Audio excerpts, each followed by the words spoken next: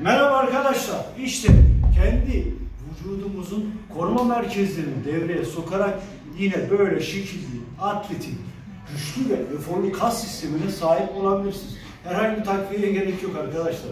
Zaten vücudumuzun kendi hormonları yeterlidir. Fakat çalışma sistemlerimiz önemli olan çok detaylı şekilde ilgilenmesi gereken nokta.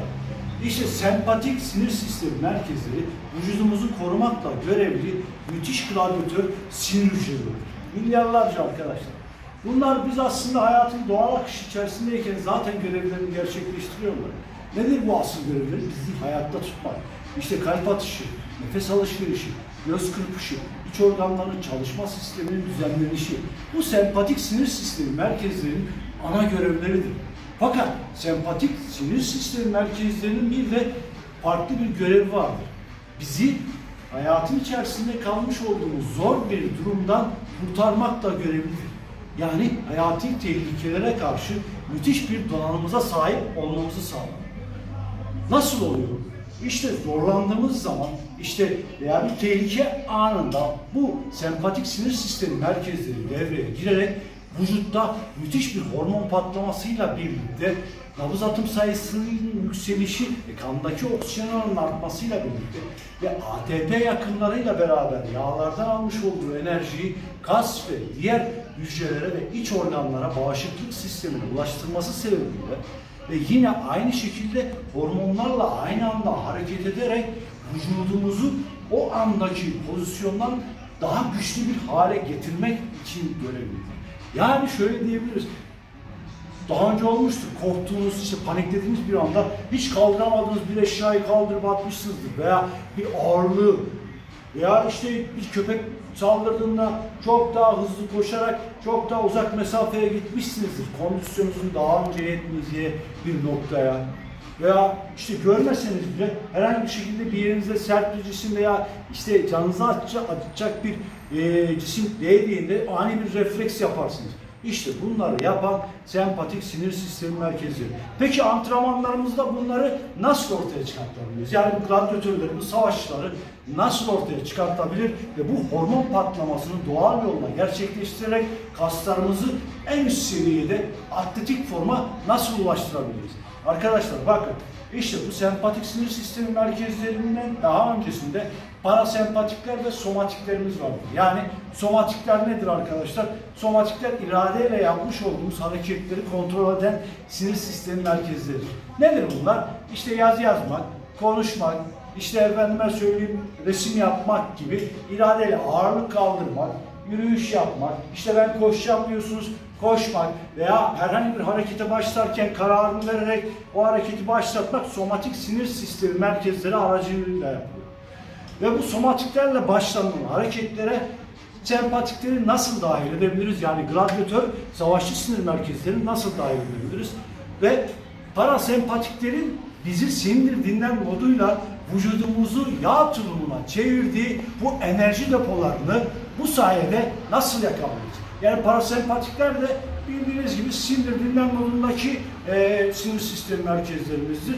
Yani arkadaşlar bu parasempatikler bizim herhangi bir tehlikeye karşı vücudumuzu korumak adına sürekli enerji depolar. Yani yediğiniz takdirde yemekleri sürekli olarak ve hareket etmediğiniz zaman yani sempatikleri ve somatikleri devreye sokmadığınız zaman sürekli olarak içeride işte enerji olarak karaciğerinizde özellikle başlar bu yağlanma ve daha sonra vücudunuzun her tarafında yağ tulumu gibi olursunuz. Bunlar aslında enerji depolardır.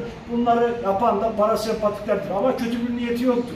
Neticesinde sempatiklere temel oluşturmak, onlara enerji kaynağı olmak için daha öncesinden hazırlıklı bir halde depolama yapmaya başlar.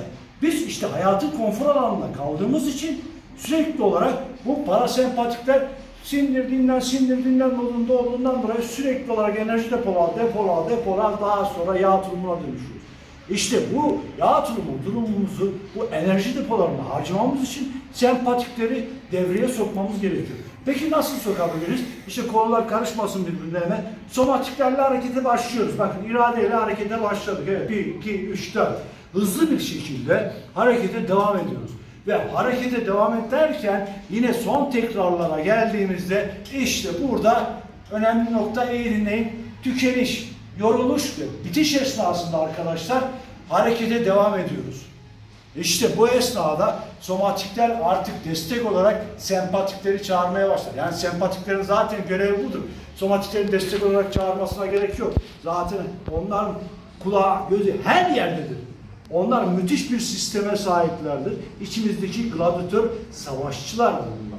Ve bu somatikler zorlanmaya başladığında sempatikler dur biz devreye giriyoruz. Artık savaş sırası bizde ve bu olayın içerisinden güçlenerek kurtulmamız gerekiyor diyerek harekete geçerler. Peki nasıl harekete geçer bu sempatik sinir sistemi merkezleri? İşte bu tek, tükeniş esnasında, bu yorgunluk esnasında, bu bitkinlik esnasında nabız atım sayımız yükselmeye başlar arkadaşlar. Nefes alışverişlerimiz derinleşir ve kandaki oksijen oranı müthiş seviyelere çıkarak vücutta ATP patlamaları başlar. Ve bu ATP patlamalarıyla birlikte yağlardan enerji alımıyla beraber kas beslenimi ve iç bağışıklık beslenimi başlar. Yani aynı zamanda yine aynı anda arkadaşlar omurotronop sinir sistemi içerisinden sempatik sinir sistemi merkezleri hipotalamus bölgesine, alt beyin bölgesine sinyal göndererek acil durum sinyali göndererek hipofiz bezine direkt ulaşmasını sağlar. Hipofiz bezi neydi arkadaşlar? Tüm hormon bezlerinin orkestra şefi. Ve bu sinyallerle beraber hipofiz bezi tüm hormon bezlerine komut vererek aynı anda patlamalarını sağlar. Yani tam tükeniş esnasında güçlenmemiz, ayaklanmamız, yola devam etmemiz için. Bakın çok önemli. Veya o zor durum esnasında kaçıp kurtulabilmemiz için. İşte sempatiklerin işte biliyorsunuz savaş ya da kaç modundadır bilimsel altyapısı. Ve bu yüzden arkadaşlar o hormon patlamasıyla birlikte vücutta müthiş bir değişim başlar. Ve bu hormonlar arkadaşlar adrenalin, testosteron, işte tiroid hormonu, insülin hormonu ve yine endorfin, serotonin, dopamin hormonlarıyla birlikte 200'e yakın hormon devreye girerek işte vücudun kas sistemini güçlendirmeye başlar ve yine aynı şekilde bağışıklık sistemini güçlendirerek müthiş bir sağlık anlamında olsun hem de vücut formu anlamında olsun vücut müthiş bir form sağlamış olur vücudumuza. Yani arkadaşlar işin temelinde ne hareket yaparsak yapalım tükenişe kadar, bitişe kadar yapmamız gerekiyor ki bu sempatik savaşçı sinir merkezlerini devreye sokabilelim. Ve yine arkadaşlar ne yersek yiyin fark etmez. Diyet yok bakın. Herhangi bir şekilde diyet denilen olaylara kulak asmayın. Vücudunuz zaten gerekeni yapıyor. İşte bu sempatik sinir sistemlerinin büyüsü burada.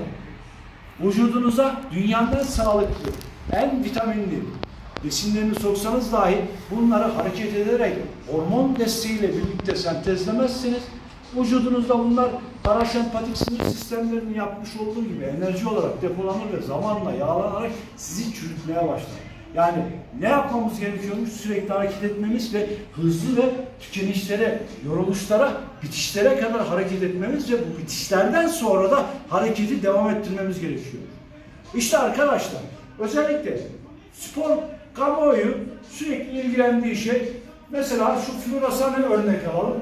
Floresanın işte çapı, ebatı, işte dış aksesuarları, iç aksesuarları nasıl olmalı ki daha güzel ışık versin, nasıl olmalı ki işte daha parlak ışık versin, işte vidasını öyle mi takalım, iç yazılımını böyle mi kuralım diye sürekli bununla meşgul oluyor. Yani bu bizim kas sistemi. Tabii ki bu da güzel bir şey. Fakat işin biz temelindeyiz arkadaşlar.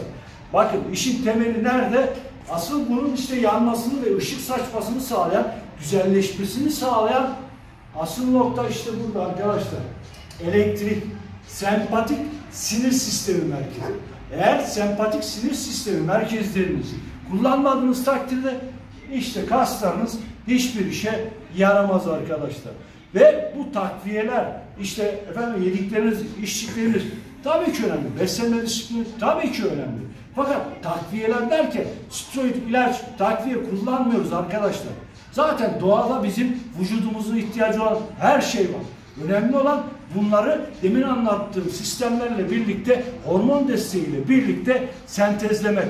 İşte ben doğal bir şekilde bu çalışma sistemleriyle birlikte hareket ediyorum arkadaşlar. Ve yine ağırlık çalışma sistemleri atletik formda ağırlık çalışma sistemi, oynatma sistemler bu sistemlere yönelik işte dumbbell çalışmaları, bar çalışmaları ve kendi vücut ağırlığınızda çalışmalara ulaşabilirsiniz. Atletik çevik kas formuna ağırlık çalışma sistemleriyle nasıl sahip olabiliriz? Oynatmalı sistemler.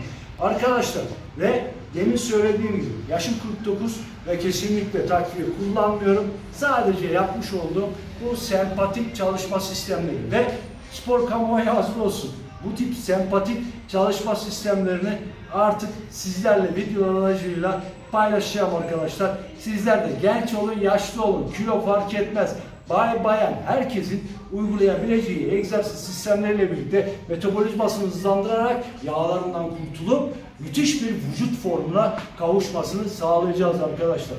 Hepinize başarılar diliyorum. Görüşmek üzere.